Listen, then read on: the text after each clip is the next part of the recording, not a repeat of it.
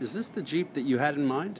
Today is Monday, August the 15th, and I'm just showing you this amped Jeep Wrangler Unlimited. Of course, the four door Sahara.